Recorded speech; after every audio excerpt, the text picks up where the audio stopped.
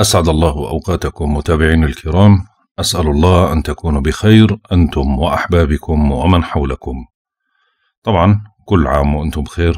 أسأل الله أن يكون عام خير علينا وعليكم وعلى الجميع إن شاء الله. طبعا توقعاتنا لهذا العام راح تكون مختلفة تماما عن المعتاد عليه مش بالطريقة اللي أنتم متعودين عليها. لا راح يكون فيها إيجابيات ومغريات آه، أعيشكم بوهم ولا راح أعطيكم سلبيات وأدمركم وأخليكم تحبطوا التوقعات السنة راح تروح آه، مثل اللي متعودين على التوقعات اليومية اللي كانت تنزل اللي هي بيوت 12 بيت. يعني أحداث حياتك بالكامل من نفسية من مال من تنقلات من بيت من أمور عاطفية من أمور سفر من أمور عمل من أمور صحة من أمور مكائد من كل الأمور. رح نحكي عنها تواريخها يعني زي رزنامة. فعشان هيك الأمر بتطلب منكم ورقة وقلم للتسجيل خصوصا للبيوت اللي انتو بدكم إياها. يعني كل بيت رح أشرح. البيت هو معناه برج. بيصير اسمه بيت على حسب برجكم. رح نشرحها بالتفصيل وكل بيت شو معناه وبيأثر على إيش. أفضل الأوقات لإله أسوأ الأوقات لإله الأفضل الأوقات اللي إحنا بنقول لكم مميزة هاي رح يصير فيها أحداث ممكن تستفيدوا منها رح نحكيها. فعشان هيك بتطلب ورقة وقلم عشان أنتوا تسجلوا. ما راح أعيشكم بوهم ولا راح أحكي لكم أي إشي بوهم اللي إحنا بنحكيه عبارة عن علم مبني على حسابات بدون أي فزلكات بدون أي أوهام ولا أنت أحسن برج وأنت بدك تتجوز وأنت بدك تطير وأنت بدك تسافر وأنت هذا الكلام. لا إحنا رح نكون يعني محايدين تماما في نقل صورة الأبراج وفي نفس اللحظة تواريخ زي رزنامة تستغلها بدون ما ترجع لأي فلكي وتكون ماشي معك بشكل ممتاز جدا وتحسب عليها أنت لحالك. وتعمل زي خارطة فلكية لإلك لحالة خاصة فيك. إذا أخذت التواريخ زي ما أنا راح أذكرها وبنفس الطريقة اللي راح أذكرها اعرف أنه أنت بإذن الله راح تتجاوز يعني سنة راح تكون مهما كانت ضاغطة راح تكون ممتازة بالنسبة لإلك. فعشان هيك يا ريت أنه أنتوا آه تركزوا. آه ممكن تتطلب تسمعها مرة أو مرتين حتى لو طلبت أنك تحفظها احفظها. ما تنسوني من الدعم. إذا عجبكم المحتوى حط like اكتب share آه حاول توصلها للناس خلي الناس تستفيد منها. ما عجبك المحتوى عادي حط لي dislike واعمل لي إنه ما بدك تتابعني أو block أو أي شيء أنت بدك إياه أنت حر. خلينا ندخل على التوقعات مباشرة عشان ما أطيل عليكم بالمقدمة. هاي هاي المقدمة راح تنزل على كل الأبراج. طبعا اللي أنا بحكيه هو بنطبق على البرج وعلى الطالع. يعني لما نحكي برج الحمل هو اللي برجهم حمل يسمعوا واللي طالعهم حمل يسمعوا. الثور نفس الشيء برجهم وطالعهم. بنطبق عليهم وبنطبق على هدول فخد أنت الجهتين. ما إن علاقة في البرج الباطن والبرج المش عارف إيش وبرج القمري وبرج المش آه، نازل والطالع هذا ما إلنا فيه. إن برجك الشمسي وطالعك الشمسي. لما أحكي الحمل مواليد برج الحمل واللي طالعهم حمل هم اللي بيستفيدوا من هاي التواريخ. بحكي عن الأسد برجهم الأسد وطالعهم الأسد هم اللي بيستفيدوا عن هاي الأمور. وكل واحد بقيس على حسب معرفته في علم الفلك. معرفة في في صندوق الوصف جدول تقدر تطلع منه طالعك. في موقع بشرح لك كيف تستخرج طالعك منه. يعني أنا معطيك زبدة الموضوع. خلينا نروح على توقعاتنا السنوية. برج الحوت. طبعا. بالنسبة لبرج الحوت بيتك الأول هذا اسمه البيت الأول هو بيت الشخصية والمظهر الخارجي وطريقة التعبير عن أنفسنا تجاه الغير.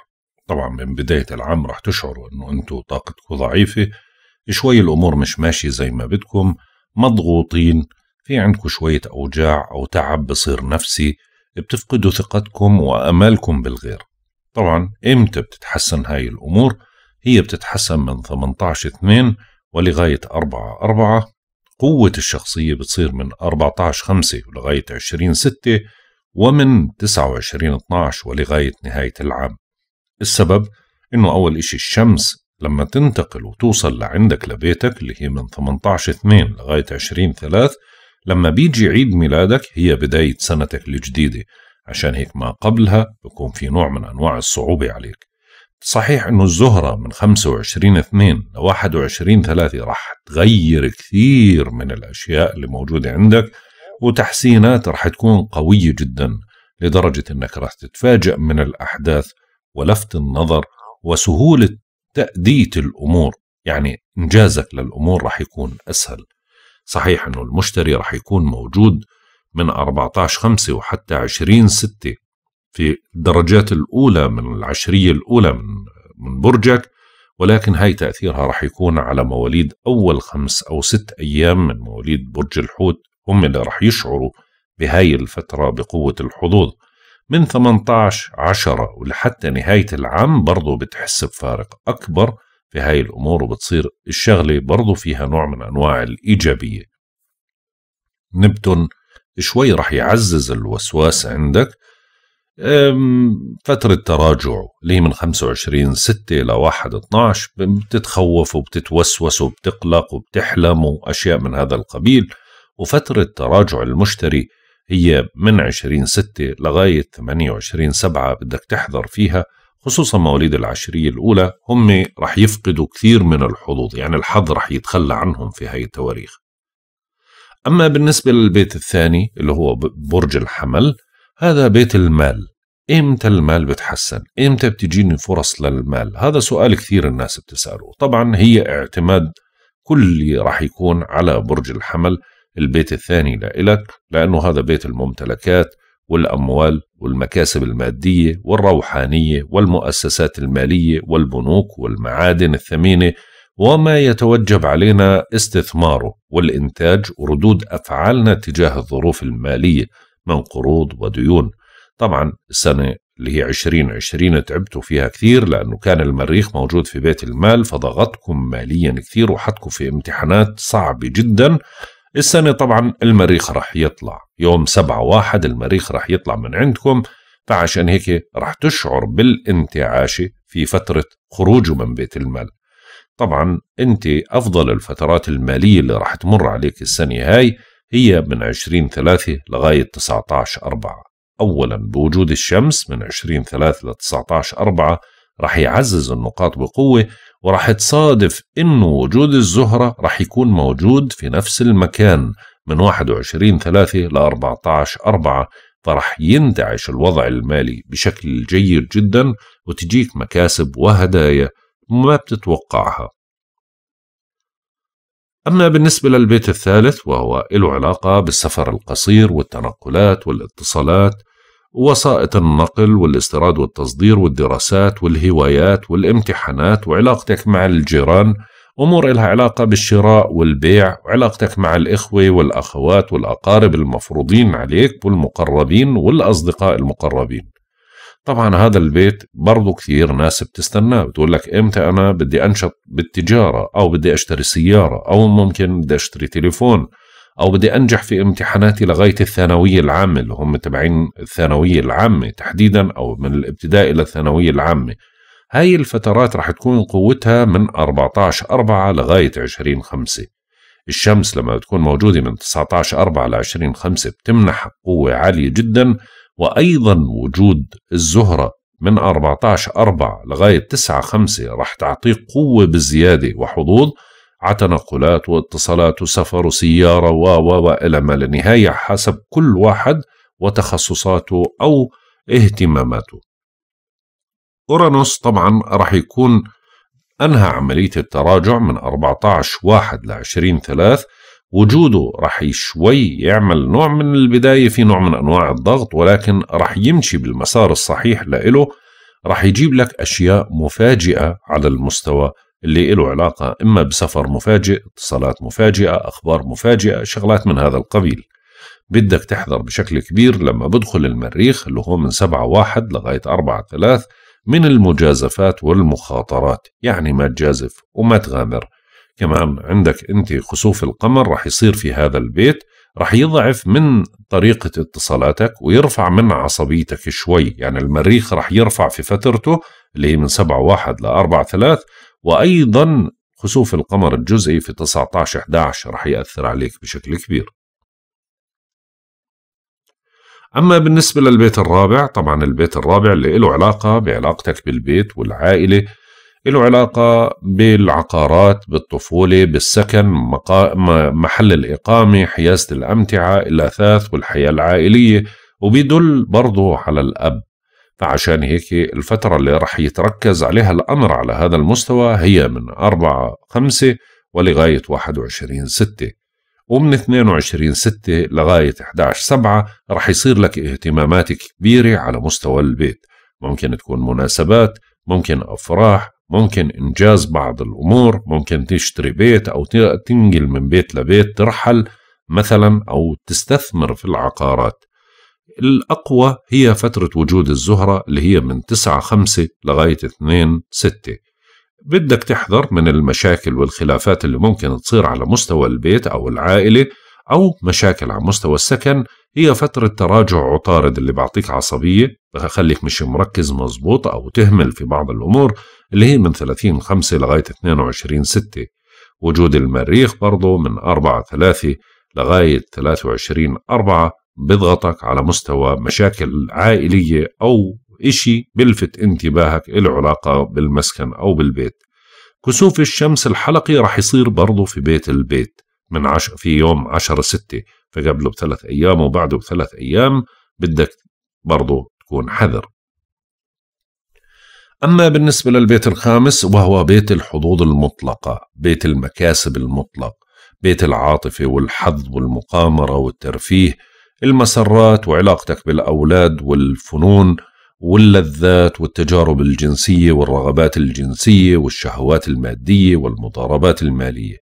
قوة هذا البيت راح تعطيك الحظوظ المطلقة هي فترة اثنين من اثنين ستة لغاية ثمانية وعشرين سبعة.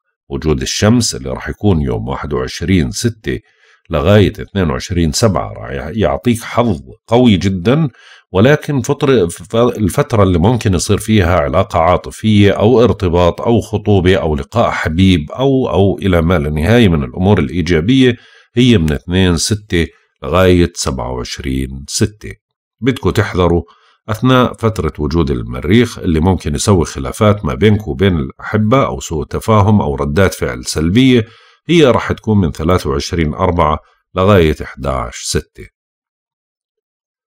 أما بالنسبة للبيت السادس اللي هو برج الأسد هذا بيت صعب شوي يعني بضغط على الصحة بضغط على العمل فعشان هيك بدكم تركزوا بالتواريخ مزبوط معي. العمل والصحة والخدمات والطعام والحيوانات الأليفة الحاجيات اليومية اليومية المسؤوليات اليومية والمهام التغذية الحمية وعلم الطب وملحقاته والأمراض العابرة والحوادث اللي ممكن يتعرض لها الشخص إلها علاقة في البيت السادس.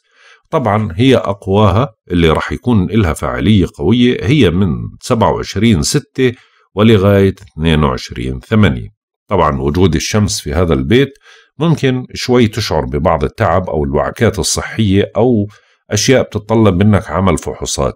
هي من 22 7 ل 22 8 طبعا الزهرة راح تمنحك حظ إما بعمل جديد أو ترقية بالعمل أو مساعدة زملائك لإلك أو تقييم لإلك جيد أو ممكن تكون مريض وفي هذا الفترة تجد العلاج المناسب لإلك اللي هي من 27 6 ل 22 7 بدك تحذر وتراقب صحتك وإن شعرت بشيء غير اعتيادي بدك تراجع طبيبك هي فترة وجود المريخ وابتعد عن المشاكل في مكان العمل من 11 6 لغاية 29 7 أما بالنسبة للبيت السابع طبعا البيت السابع اللي هو برج العذراء وهذا مقابلك تماما.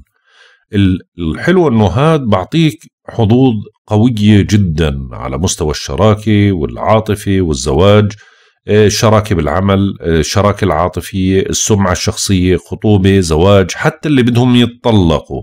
الفترات الإيجابية ممكن يستغلوها توقيع العقود والأمور التجارية والأعداء الظاهرين والعالم الخارجي والقضايا والدعاوى القضائية.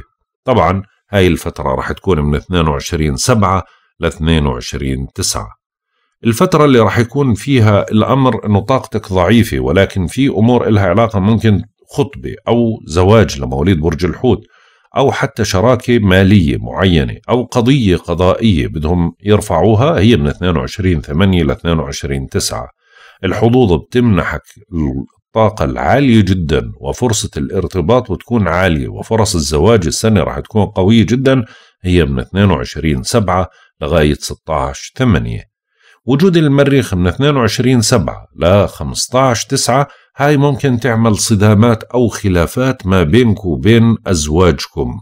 فديروا بالكم وابعدوا عن أي شيء ممكن يخلي فيه مواجهة توصل للقضاء بهاي التواريخ. أما بالنسبة للبيت الثامن هو بيت التركات بيت الديون بيت الضرائب الشؤون المالية المتعلقة بشراكة وصحة أحد الأحبة بتدل برضو على التغيير والروحانيات والعالم الآخر الجنس الشهوات والاختفاء. الاختفاء يعني سرقة ضياع فقدان أشياء. اختفاء أشياء. ماشي؟ هسا هاي الفترة هي من 16 8 لغاية 6 11 الشمس بوجودها من 22 9 ل 23 10 ممكن تخليك تحل قضية مالية ممكن تجيب لك قرض تجيب لك مساعدة. تبدأ بشراكة جديدة مثلا يعني بتركز على الأمور الإيجابية. الزهرة راح تجيب لك حظوظ أكثر في هاي الأمور. راح تعطيك طاقات أعلى في هذه الأمور اللي هي من 16 8 ولغاية 10 9 بدكم تديروا بالكم فترة تراجع عطارد من فقدانكم لبعض الأمتعة أو فقدان أموالكم أو ينتصب عليكم. هي فترة من 27 9 لغاية 18 10 وأيضا وجود المريخ اللي بيعمل خلافات أو صدامات أو شكوك برضو في بعض الأمور آه، هي من 18 9 لغاية 30 10 أما بالنسبة للبيت التاسع وهو أقوى البيوت أو من أقوى البيوت تأثيرا عليك إيجابيا وبرضه الكل بيستنى فيه هذا البيت أو بسأل عنه إمتى بدي أسافر أنا برا إمتى بدي أهاجر هذا بيت السفر لبعيد والاتصالات مع أشخاص أجانب أو خارج البلاد الفلسفة الدين المعتقدات الروحية الدراسة الجامعية وامتحاناتها ومتعلقاتها. أمور اللي إلها علاقة بالاستيراد والتصدير. الأمور القضائية الحكم اللي بيصدر لإلك أو لمصلحتك أو القضايا اللي حاب ترفعها وتكون نتيجتها لإلك. طبعا هذا البيت رح يتركز عليه العمل من عشرة تسعة لغاية سبعة عشرة ومن 23 عشرة ولغاية 24 11 أفضلها وجود الشمس اللي هي من 23 10 ل 22 11 وقمة حظوظها حتى بالهجرة والسفر والأمور هاي كلها بتيجي بوجود الزهرة اللي هي من 10 9 لغاية 7 10 المريخ ممكن يخليك تتسرع في بعض القرارات أو تتهور في أمور من هذا القبيل وبرضه بدك تنتبه إنه في الفترة هاي أي امتحانات بدك تركز عليها بشكل جيد وحاول ما تخسر أي واحد أجنبي أو خارج البلاد أو تعمل مشاكل في مكان تعليمك هي من 30 عشرة لغاية 13 12 وإذا كان عندك سفر بالفترة هاي بدك تتفقد كل أوراقك وأمتعتك. أما بالنسبة للبيت العاشر هو بيت السمعة. طبعا هذا بيت المركز الاجتماعي والشؤون الحكومية والسياسية. وعلاقتنا برؤسائنا وزملائنا في العمل والترقيات وإثبات الذات والمشاريع المهمة كما انه هذا بدل على الأم. طبعا هذا البيت هو بيت السمعة. يا بشهرك وبرفعك لأعلى المستويات يا إما بفضحك وبنزلك تحت الأرض. يعني بمعنى آخر على حسب جاهزيتك وتصرفاتك هذا البيت بتعامل معك. من بداية العام لغاية 8 واحد بيشتغل هذا البيت بيكون قوي. من 7 10 لغاية 5 11 بكون قوي ومن 22 11 ولغاية 21 12 بكون قوي. طبعا وجود الشمس فيه من 22 11 ل 21 12 هي الامتحان جهوزيتك إنك أنت جاهز تستحق الترفيع والترقية هل في خلافات ما بينك وبين زملائك أو رؤسائك بالعمل؟ هل في فضايح عليك؟ هاي بدك تنتبه لها بالفترة هاي بدك تكون جاهز ومعبيها عشان الترقيات.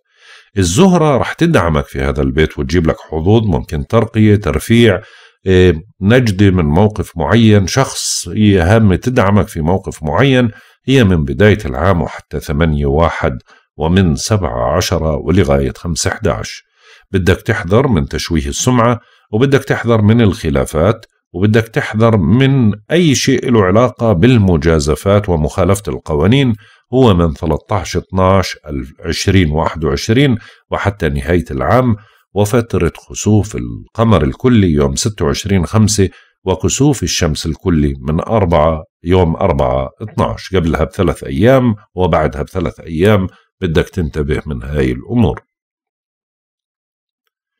أما بالنسبة لبيتك 11 هو بيت العلاقات الاجتماعية. بيت علاقاتك ورغباتك الأماني الآمال الصداقات النشاطات الاجتماعية والأصدقاء الموثوق فيهم اللي بيقدموا لك نوع من أنواع الدعم والحماية واتباع العواطف المتعلقة بالحب العذري. طبعا أفضلها وأقواها رح ينشط هذا البيت بنشاطات اجتماعية وأمور جيدة لصالحك هي من بداية العام ولغاية واحد اثنين. ومن خمسة 11 وحتى نهاية العام. أقواها راح تكون بوجود الشمس ولكن ما راح تعطيك القوة اللي أنت بدك إياها. ممكن تنشط اجتماعيا أو دعوات وعزايم وزيارات وأشياء من هذا القبيل وتنشط بين صداقاتك من بداية العام وحتى تسعة واحد ومن واحد وعشرين 12 وحتى نهاية العام. ولكن الزهرة راح تقوي هذا البيت بشكل قوي وتجيب لك فرص وأصدقاء ومعارف جدد. وممكن إنهم هم اللي يدعموك هي من 8 واحد لغاية واحد اثنين ومن 5 11 لغاية 19 12 بدك تحضر فترة تراجع بلوتو اللي هي من 27 أربعة لغاية 6 عشرة من بعض الخلافات مع بعض الأصدقاء وممكن تخسر صديق أو يصير خلاف أو تكتشف خيانة صديق لإلك. وفترة تراجع الزهري اللي راح تيجي في نهاية العام اللي هي في 19 12 وحتى نهاية العام برضو بتأثر على هذا البيت بشكل قوي. طبعا بالنسبة الآن وصلنا لبيت المتاعب وهو أعنف البيوت وأسوأها. هو يعني في إيجابيات له سلبيات ولكن سلبياته أكثر من إيجابياته اللي هو البرج ما قبلك. بيتك 12 هو برج الدلو. طبعا هذا بيت المؤسسات الكبيرة والمستشفيات اللي هي إمتى ممكن تدخل مستشفى أو تعمل عملية أو تضطر لدخول مستشفى بيت السجون اللي هم ممكن تخالف القوانين أو تنسجن صلاة عرض الفنون التقييدات والأسرار اسمه بيت متاعب بيت المحن الكبيرة بيت الأمراض الخطيرة والمهلكة والمزمنة والسجون والمعتقلات والأعداء الخفيين والوحدة والعزلة اللي هو الاكتئاب وما هو مقدر على الإنسان. طبعا هذا الإشي راح يبدأ من بداية العام هو بدأ معك تلقائيا من قبل فترة من بداية العام لغاية 14 5 ومن 18 10 ولغاية 29 12 أصعبها هي فترة وجود الشمس في هذا البيت اللي ممكن أشخاص يوعدوك ويخلفوا آه، ما يوفوا معك ممكن يصيبك نوع من أنواع الإحباطات من, من تصرفات بعض الأشخاص. آه، ممكن تفشل العلاقات ممكن تشعر بتعب صحي. بنصحك مراجعة الطبيب. طبعا ما تستهين بالأشياء اللي ممكن تصير هي من 19 واحد لغاية 18 اثنين.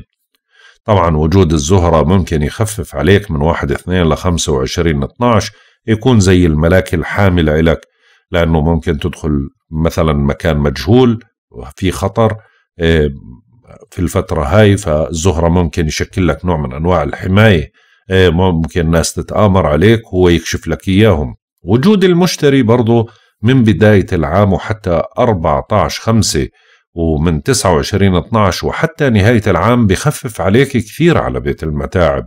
يعني بيحميك من المكائد بشكل كبير وممكن تكشف أي شخص بيحاول أنه يتآمر عليك.